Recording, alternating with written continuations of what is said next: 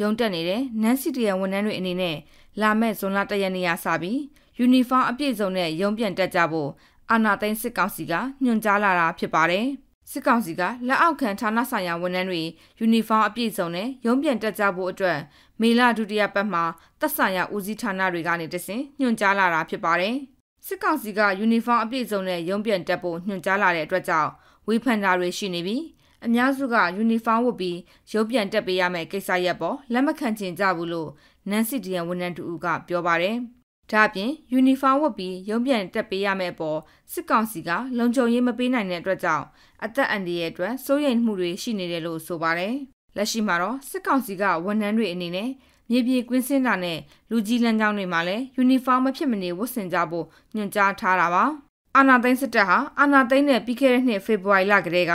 စစ်ကောင်စီဌာနဆိုင်ရာဝန်ထမ်းတွေ social punishment လို့ခေါ်တဲ့လူမှုရေးပြစ်ဒဏ်မခံရအောင်အဆင်ပြေတဲ့ဝတ်စုံဝတ်ဆင်ပြီးရုံတက်ကြဖို့